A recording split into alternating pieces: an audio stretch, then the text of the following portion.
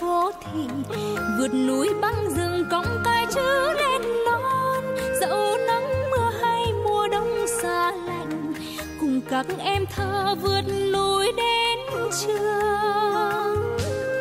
Hy sinh tuổi xuân bám trường bám bàn, cho trẻ vùng cao viết tiếp những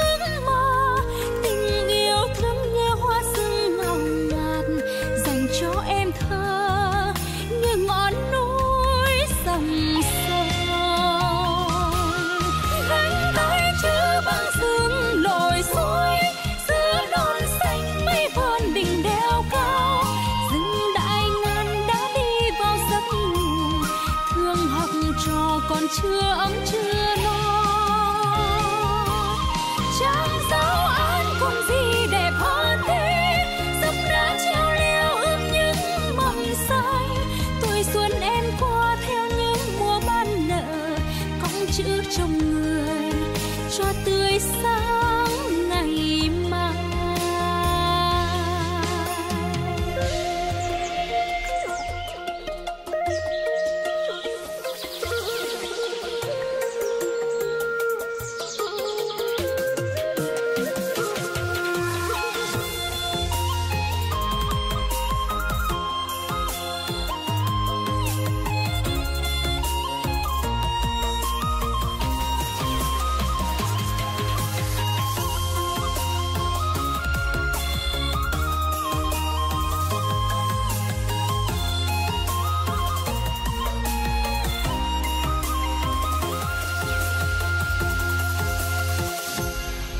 cõng chữ từ miền xuôi về bản, băng rừng vượt ngàn dốc đá treo leo.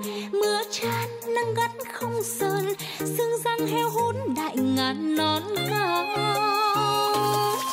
Em là cô giáo miền xuôi, nên hương cái chữ sáng người bạn cao.